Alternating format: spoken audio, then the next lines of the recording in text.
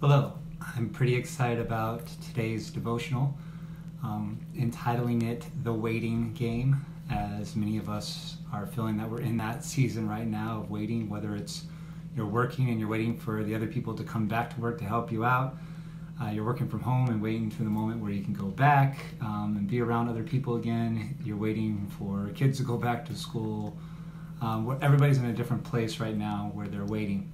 And so, what do we do when we're in that area, when we're in this waiting game and kind of our life is on hold, what should we do? And there's a lot of times in our life, not just in situations like this, where we could feel that we're waiting, waiting to hear from God, waiting to hear uh, an answer to a prayer. Um, so there's a lot of times that we deal with life. I think a lot of times life is just a series of us waiting at different times. And so again, what do we do during this portion of our lives? And so I want to encourage you, we're going to look at Psalm 27. We're going to be looking through the different Psalms as we have uh, been uh, having this time together. And this one's Psalm 27. It's a great psalm. And as always, please read it for yourself when we're done. And this is what it says The Lord is my light and my salvation, so why should I be afraid? The Lord is my fortress, protecting me from danger, so why should I tremble? So right away he's saying, I know there's reasons that I have real reasons to be afraid, but to be afraid, but still it's okay to wait. You know, often we are worried and we say, well, if you knew the stuff that I was going through, you would understand my anxiety level. If you understood the things that I was dealing with physically, if you understood the things I was dealing with with my job or lack of job or whatever that I'm dealing with right now, you would understand that I have reasons to be afraid. Well, so did David. David had real reasons to be afraid, but he's saying, I'm remembering who God is and when I look in light of who God is compared to all the problems that I have, there's no real comparison. There's no real comparison. So it says this continuing on, verse 2 it says, When evil people come to devour me, when enemies and foes attack me, they will stumble and fall. Though a mighty army surrounds me, my heart will not be afraid. Even if I'm attacked, I will remain confident. Say, no matter what comes my way, I'm still going to wait for the Lord to help me no matter what happens, whether I'm having real things that are happening, real things that are coming alongside me, real things that I feel that are attacking me, whether uh, it be again uh, physically, financially, socially, mentally, all those other parts that we can feel that are attacking us that are making us feel horrible right now. When we're feeling these things, I'm still going to be okay to wait on God. Verse 4 says this the one thing I ask of the Lord, the one thing I seek most, is to live in the house of the Lord all the days of my life, delighting in the Lord's perfections and meditating in his temple. For he will conceal me there when troubles come. He will hide me in a sanctuary. He will place me out of reach on a high rock. Then he will place my head high. Then I will hold my head high above my enemies who surround me. At his sanctuary I will offer sacrifices with shouts of joy, singing and praising the Lord with music. I think it's important for us to see how he's waiting during this time not only is he waiting and saying, uh, "Well, I'm not sure what's going to go on. I'm just kind of twiddling my thumbs and crossing my fingers, hoping something changes." You know, this is not what he's doing during this point. This point when he's waiting. See what he's saying? He's saying, "I'm, I'm to go in God's temple. I want to be in God's presence." The great thing is what, what Jesus did for us on the cross allows us to have the presence of God at all times. He lives in us, so we already have this. But again, see how he's reacting when he's waiting. He has his head held high. He has shouts of joy. He's singing and praising God. This is how he's reacting during this waiting. This next week is starting up uh, Palm Sunday. In fact, it starts uh, Sunday. And so we have the whole Easter week starting coming up. And a lot of people might be feeling, well, this doesn't really feel like Easter week because it's different than any of us have ever experienced. And Palm Sunday is really a time of shouting for joy and being excited and being happy for what God is doing and, and rejoicing in what God's doing.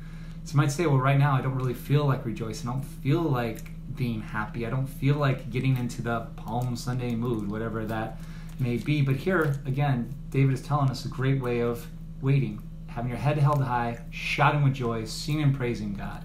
This is how we should wait. So we should be excited. We should be excited for Sunday coming, that we're able to celebrate the risen King, the one who died and who lives again, the reason we have our hope, the reason that we can move forward and, and feel dignity and feel strength and know that there is something else that is helping us throughout all these times and we're not having to go through all these things alone. See, that's why David didn't have to fear. He wasn't doing it by himself. continue to have help. And this is what he says Hear me as I pray, O Lord. Be merciful and answer me. My heart has heard you say, Come and talk with me. And my heart responds, Lord, I am coming. It's nice to know that God wants to talk to us while we wait. You know, God is saying, I, I don't want you just to wait there and say, okay, I'm just going to be holding on like uh, you're on hold with somebody, you know, uh, like a telemarketer or something like that, you know, customer service. You're on hold forever, just hearing the music saying, okay, whenever, whenever I can actually get to an actual human being. You know, God has a direct line to us.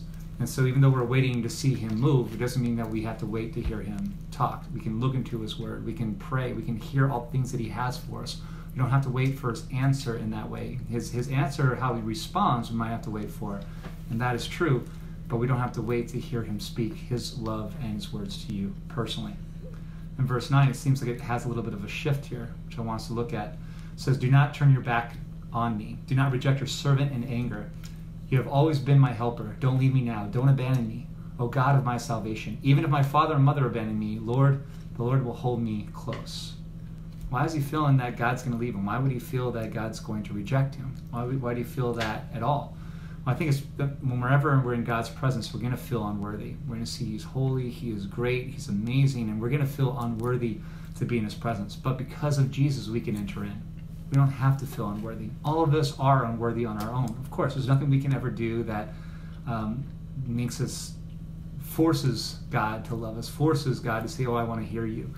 No, He does it out of His love and out of His kindness, because you're His child. He wants to hear who you are and what you're doing, and He, I mean, He already knows everything about you, but He still wants to hear it from you. And I think that's an awesome thing for us to see.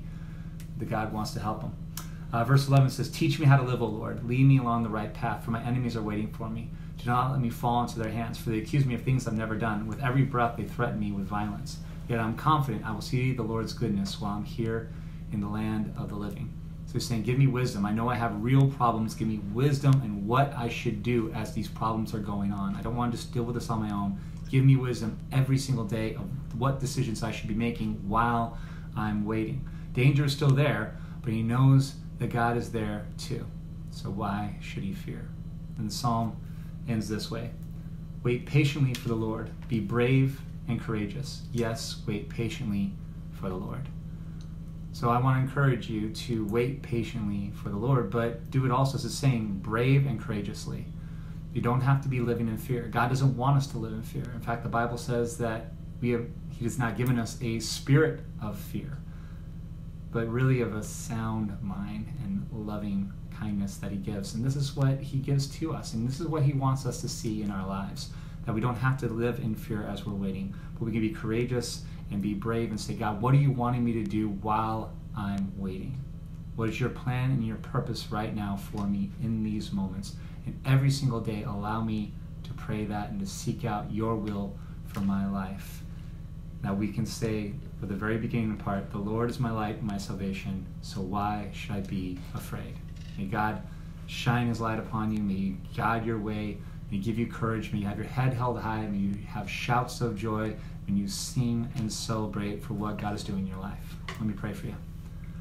God, we thank you so much that you're with us at all times. God, you're with us always. You care and your love is always there.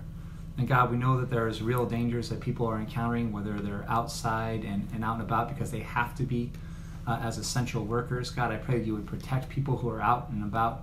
God, I pray that you would mentally protect the people that are in as well. God, I pray that you would financially help people that have lost their job, God, or have had hours cut. And we know how hard it has been on their lives and on their families and, and on them individually. God, I pray that you would help to make ways where there seems to be no way. God, as they're waiting to hear from you, as they're waiting to hear you answer their prayers, God, may they see other people come alongside them to help them out. Maybe they talk with other people. God, most importantly, may they talk to you. May they seek you out, and may they seek you out again getting courageousness and bravery, God, and not to look at this thing in fear or to be timid or to allow worry and fear to, to overtake them, God, because that's not what you have created us for. That's not the kind of life that you want us to live.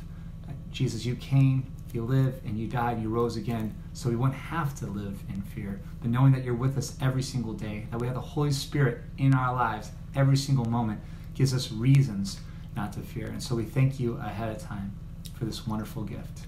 You are our light and you are our salvation. May we always remember that and have our heads held high because we are your children. In Jesus Christ's name, amen.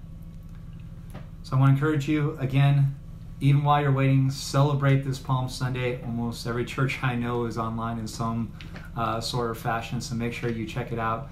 Uh, if you like, you can check out our service. Again, Hope Church uh, Midway. You can look at our page. We're going to have a great Palm Sunday that we have planned uh, with our new series called uh, The Rescue Story, so you don't want to miss that. Let's celebrate even as we're waiting because we know that God is still in control, He's still all powerful, and He's still on the throne. One thing to definitely remember this week and every single week. God bless you. I will talk to you later, and I'll see you on Sunday service.